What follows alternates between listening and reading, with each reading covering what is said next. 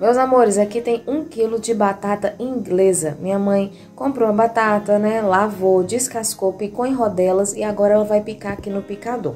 Isso é uma dica para você que tá com tempo e quer economizar o seu gás. Quanto menor você picar qualquer alimento, gente, ele vai cozinhar mais rápido. Né? Se você picar a cenoura de palito, ela vai cozinhar com o tempo. Se você picar ela em cubinhos, ela cozinha com outro tempo. Assim é a batata também. Então, para economizar o nosso gás, já que a gente está com um tempinho aqui, nós vamos repicar a batata em pedaços bem pequenininhos, para ela cozinhar mais rápido, tá bom? E aí, se você não tiver o picador e não tiver com tempo, você já pode colocar a sua batata para cozinhar desse jeito aqui.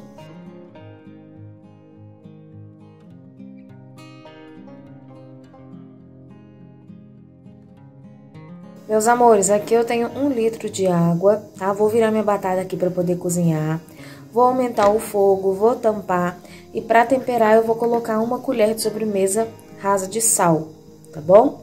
E aí quando eu ver que minha batata ela tá derretendo, bem cozida, eu vou desligar e vou escorrer. Então pode aumentar o fogo, pode tampar, tá bom? E o tempo vai variar, igual eu falei pra vocês. Depende do seu fogo, se ele é mais forte ou mais fraco, da espessura da sua panela, do tamanho que você picou sua batata e da quantidade que você tá fazendo. Mas aí como que você vai saber? É só fazer o teste. Pega um pedacinho e vê, tá cozido, pode desligar e escorrer. Meus amores, cozinhou, escorreu bastante, olha só, você viu que tá bem cozidinha, ainda quente, para ficar mais fácil, você vai amassar sua batata. Tem gente que tem aquele amassador especial de batata, né? Mas se você não tiver, qualquer coisa que você tiver e que você vê que dá para amassar, ó, você pode amassar, tá bom? Pode ser uma concha, pode ser um batedor de bife.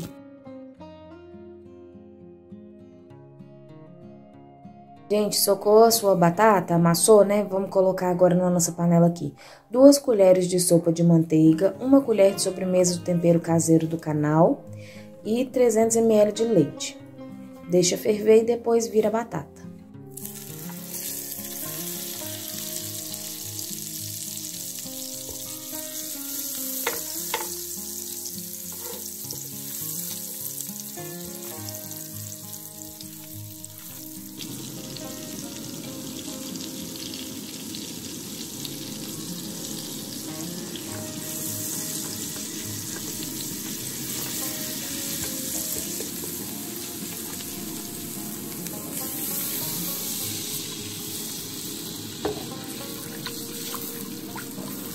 Ferveu, gente, abaixa o fogo para não queimar e coloca o seu purê e vai mexendo, tá bom? Aí vai tudo se agregar, vai ficar maravilhoso, vocês vão ver.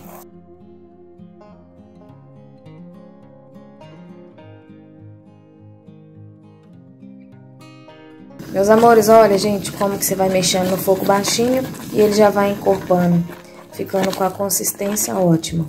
Na hora que esfria, ele ainda fica um pouco mais durinho. Tá perfeito. Aqui você poderia acrescentar a noz moscada aqui agora, mas aqui eu não tenho aqui em casa hoje. Lá no restaurante, de vez em quando eu punha, quando tinha, né? Quando não tinha também, passava sem. Mas dá um gostinho todo especial. Se você tiver, vale a pena colocar. Mas se não tiver, pode fazer purê do mesmo jeito, tá bom? Vocês viram que eu não coloquei creme de leite? Se você quiser, você pode colocar metade de leite, 150 ml, e metade de creme de leite. Aqui eu coloquei só o leite, para ficar ainda mais econômico. E o creme de leite também é uma fonte de gordura, né? Como aqui eu coloquei duas colheres de sopa de manteiga, eu optei por não colocar creme de leite. A manteiga aqui eu tô utilizando, gente, é aquela original. Então ela é bem temperadinha, muito gostosa. E o nosso purê também, ele foi cozido com sal, a batata. Depois a gente colocou a colher de sobremesa rasa de tempero. Se você colocar a colher cheia, vai ficar salgado, tá bom? Então se atente a essas medidas aí, tá tudo aqui na descrição. Agora eu vou empratar e servir. Espero que vocês tenham gostado. Ó que lindão, gente. Ficou o nosso purê maravilhoso, igualzinho eu fazia lá no restaurante. Isso aqui era sucesso. Uma das primeiras coisas que acabam. Todo mundo adora purê, tá? Combina com almôndega, combina com peixe. Então pode fazer que eu tenho certeza que você vai vender tudo, tá bom? Purê muito gostoso, muito chique, fácil, barato de fazer e todo mundo gosta. Espero que vocês tenham gostado então, tá bom? Ah, pode colocar queijo e levar pro forno se você quiser mas assim também fica bem legal, tá bom? Um dia você pode fazer com queijo, outro dia sem, tá bom? O importante é fazer.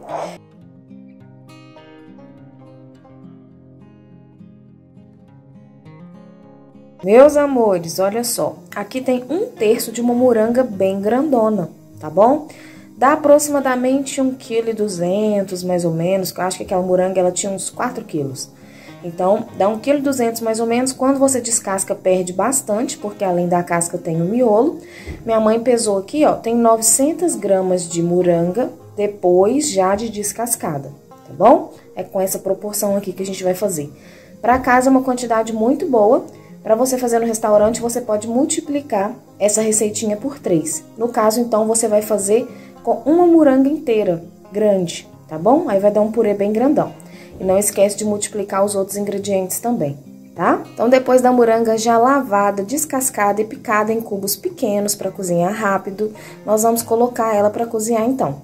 Ali já tem um litro de água fervendo, eu vou colocar uma colher de sobremesa de sal, virar minha moranga, aumentar o fogo e tampar.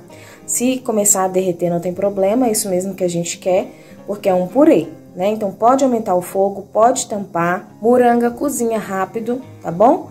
Então é isso. Gente, não deixa derreter muito. Ah, vou deixar derreter bastante, que aí eu nem preciso de amassar. Não é uma boa ideia não, porque aí ela fica encharcada, entra muita água nela. E aí não é legal, tá bom? Deixa ela ficar derretendo, mas tem que chegar no ponto que você precise amassar.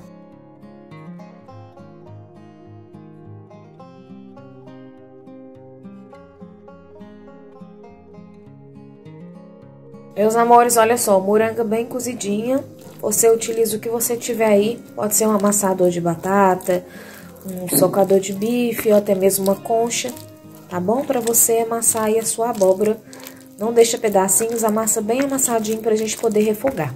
Meus amores, olha só, gente. Vocês me pedem sempre combinações, né? Com que servir.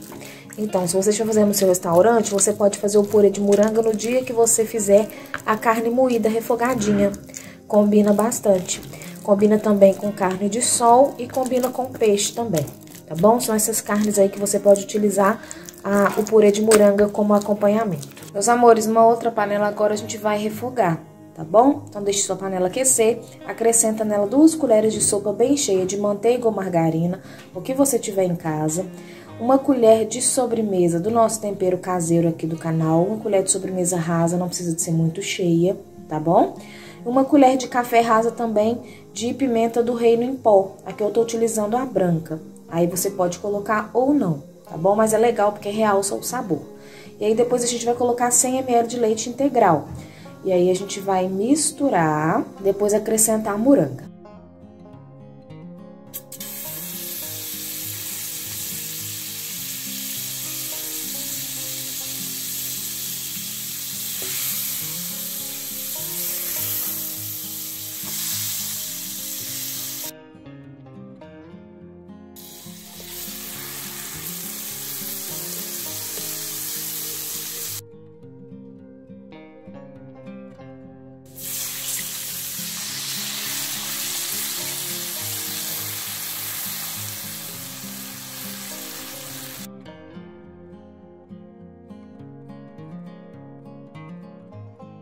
Meus amores, parece que não vai dar certo, mas vai, viu? é desse jeitinho aí, confia em mim que vai dar tudo certo. A moranga vai se agregando ao refogado que a gente já fez aqui. Aí fica super cremoso, bem consistente, uma cor linda e um tempero maravilhoso. Importante utilizar o tempero caseiro aqui do canal, para que você use as mesmas medidas que eu. Se você estiver utilizando um outro tempero, Pode ser que as medidas mudem, um tempero com mais ou menos sal, por exemplo, tá bom? Importante você sempre experimentar também a comida que você fez, antes de você terminar, servir, é, empratar e servir, tá bom? Então, sempre tenha o hábito de experimentar. Agora, se você utilizar o meu tempero aqui, você pode confiar que vai dar certinho. Ó, depois que esfria, ele ainda fica com consistência mais firme ainda, tá bom? Então, agora eu vou colocar aqui, já baixei o fogo, uma caixinha de creme de leite, e vou misturar bem e vou desligar e vai estar tá prontinho o nosso purê, tá bom? Comenta aqui embaixo o que, que vocês acharam. Se você faz diferente, tem algum ingrediente que você coloca que eu não costumo colocar? Porque esse aqui é bem simples, né, gente? É a base do purê. Tem gente que incrementa com mais coisas, mas esse aqui ele é simples, rápido, econômico e muito gostoso, tá bom?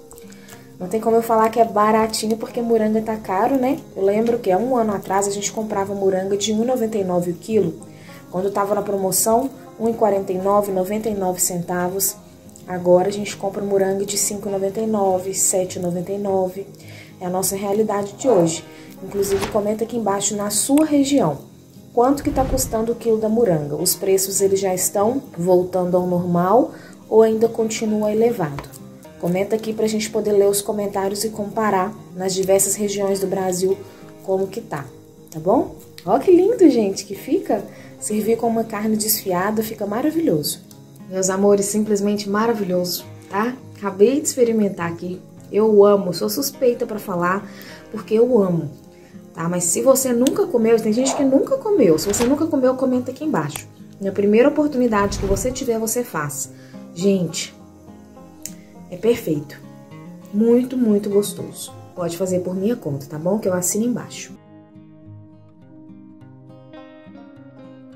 Meus amores, olha só, já deixei tudo aqui, né? A mesoplace prontinha. Ajudei minha mãe aqui a deixar pronto para poder adiantar o vídeo, mas mesmo assim eu vou falar passo a passo para vocês, tá bom? E todos os ingredientes e quantidades que a gente utilizar aqui vai estar tá descrito aqui no final, aqui embaixo do vídeo, tá? Ali, ó, tem um quilo de inhame, só que depois de descascado, ele dá aproximadamente 800 gramas, mas é um quilo que minha mãe comprou pra gente poder fazer. Uma dica, gente, você não lava o inhame antes de descascar, né mãe? É. Lá, é, descasca primeiro, lava depois que descasca e aí você pica, tá bom? Pro inhame não ficar escorregando e você conseguir picar direitinho. Aqui minha mãe picou os pedacinhos menorzinhos, ó, pra poder cozinhar mais rápido, mas nem precisa de picar tão pequenininho assim, tá bom? Aqui a minha água, ela já tá fervendo, abaixei o fogo pra conversar com vocês. Vou virar o meu inhame, tem um litro e meio de água, tá, gente? E uma colher de sobremesa de sal.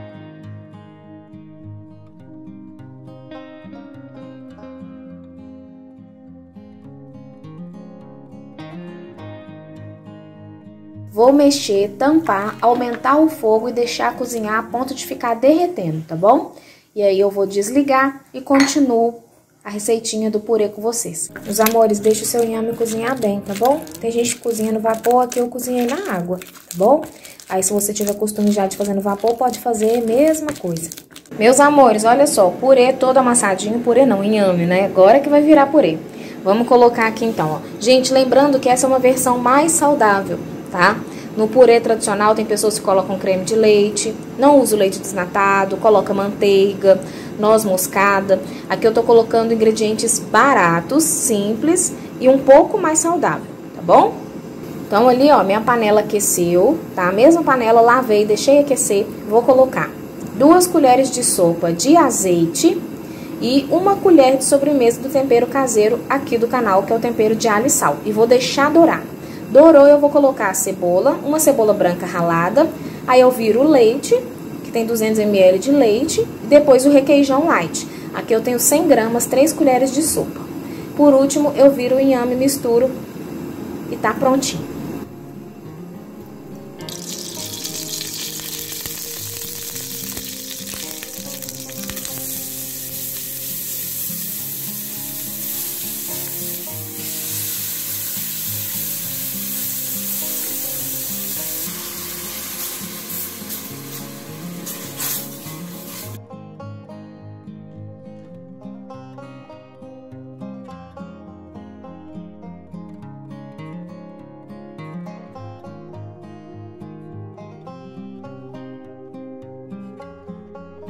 Agora é a hora do inhame, gente, abaixa o fogo, tá? Você já colocou todos os ingredientes, já ferveu. Agora abaixa o fogo para você conseguir ir misturando o inhame nesse refogado aqui que a gente fez.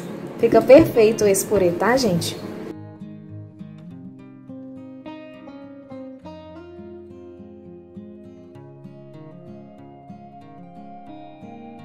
Meus amores, olha só, gente, no fogo bem baixinho você vai misturando, olha a consistência desse purê. Por isso que eu gosto de amassar e fazendo assim. Tem gente que gosta de bater no liquidificador. Dá certo também, só que ele fica bem mais lisinho, sabe? Se você não tiver cuidado, ele vira um creme, não um purê.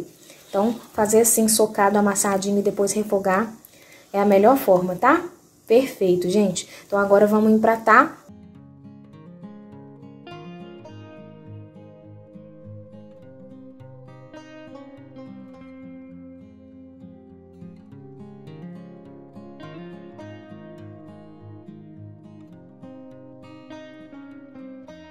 Meus amores, aqui eu já deixei tudo, ó, é, que fala, né? Adiantadinho pra gente poder fazer aqui o nosso vídeo sem muita enrolação, tá bom? Então aqui, ó, nós vamos começar primeiro aqui pela batata doce. Minha mãe já descascou, eu ajudei ela aqui. São um quilo de batata doce. Deixei essa daqui pra vocês verem, ó. Duas batatas doces grandes geralmente dá um quilo já, tá, gente? Então aqui eu lavei, descasquei, piquei em rodelas finas pra poder cozinhar mais rápido duas batatas doces que eu pesei e deu um quilo. A batata doce, gente, ela escurece, então você tem que lavar ela bem e colocar na água à medida que você for picando, tá? Então eu vou escorrer essa água aqui e vou colocar ela para cozinhar. Vou colocar para cozinhar com um litro e meio de água fervendo, uma panela bem grande e uma pitada de sal, uma colherzinha de café de sal. Aí agora eu vou tampar, aumentar o fogo um pouquinho e deixar cozinhar bem, tá, gente? Tem que estar tá derretendo, ao ponto de purê mesmo, que a gente vai conseguir amassar. E aí eu vou deixar cozinhando então. Meus amores, minha mãe escorreu a batata doce aqui, gente, ficou 15 minutos cozinhando. Foi o tempo da gente fazer a salada e fazer a almôndega, tá? E aí agora a gente vai amassar a batata. Tá um cheirinho tão gostoso aqui de batata doce. Tira ela assim, ó, derretendo, tá bom? Que é pra facilitar pra você. E a massa ainda quente tá? Tem gente que gosta de fazer no liquidificador, dá certo também, pode bater no liquidificador, mas o purê amassado, ele é diferente, é mais gostoso. Meus amores, olha só, gente, como que fica amassadinho. Agora a gente vai refogar o nosso purê. A mesma panela, minha mãe lavou ela e deixou ela aquecer, tá bom? E nós vamos colocar duas colheres de sopa de azeite.